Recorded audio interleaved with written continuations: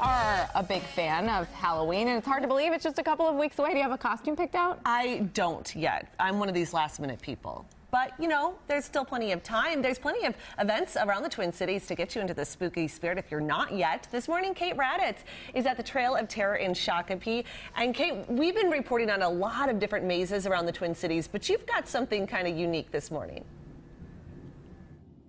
Yeah, this is a little bit different, Kim. We are here at the Haunted Maze at the Trail of Terror in Shakopee. Not only is it a heated indoor maze, which is pretty nice out here this morning, but it's also the largest heated indoor maze in the Twin Cities, which is pretty cool. And I'm here with Brian uh, Anderson with Trail of Terror. Thanks for being up early with us this morning. You're very welcome. Uh, so this has been here, the maze has been here in all 22 years since Trail of Terror started. What can people expect when they, they come through these doors here?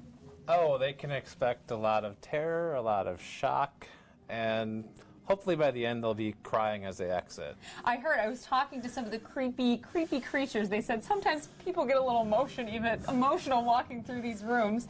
There are 25 rooms in here. It's three quarters of a mile. Now, I know this has been here a while, but what are some of the attractions that are newer this year, that are new? Uh, we have an escape room this year. We added a brew pub this year. They added a few video games into our Club Scream. They have Knocker Ball, which they added, which is a lot of fun. You get in the giant blow up balls and run into each other. And I saw that there's paintball too. I heard the paintball is Yep. really popular. Zombie paintball, yes. Zombie paintball. Doesn't get every, any better than that. No, not really. And what about for wimps like me, where maybe this is a little too much? Are there some scare-free options maybe for people? Well, you can do the zombie paintball. It's not too frightening. Again, you can do the knocker ball, which is just a fun thing to do. We got two fire pits you can sit around and enjoy the warmth. Uh, we do have a dire wolf that people can look at. They have karaoke, which is always fun.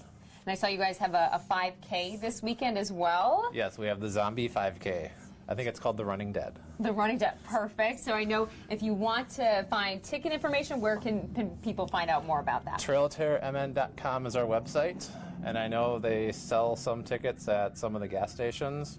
So there's a few different places you can buy stuff at. You have discount days. We also have uh, ticket information up for you on our website at wcco.com slash links. And coming up in the 6 o'clock hour, we'll be taking you on a little tour through one of the rooms, which I can't wait to see who might be out here, you guys.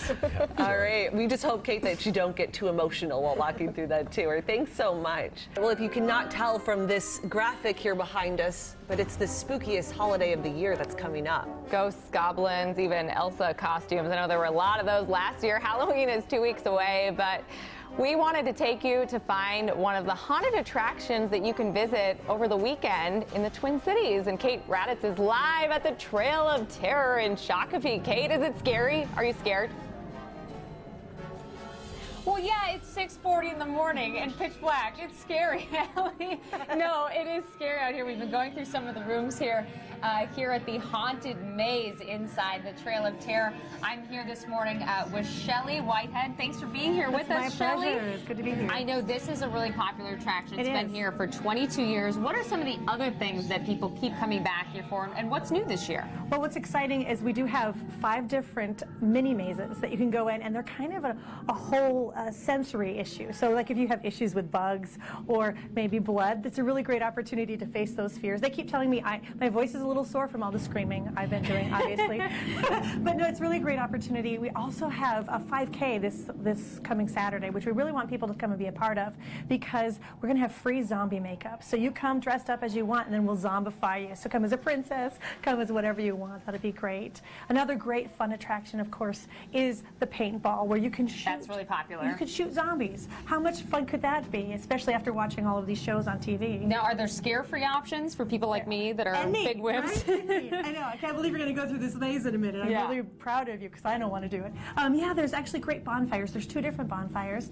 And then at Club Scream, it's this great heated tent where you can go and you can actually do all sorts of fun twister. There's also things like Hammerschlagen, which if you've never done Awesome. Hammerschlagen, I really encourage you to do. in the morning. But uh, yeah, you don't want to scare anyone now that uh, there there was nothing scary about that shot. It looked like it was just having some technical No, problems. no, those were ghosts. Oh, were they? It was the zombies. They were causing Zombies problems. biting the cables and then the ghosts attacking Kate. That's what happened. Yeah. No technical problems, please.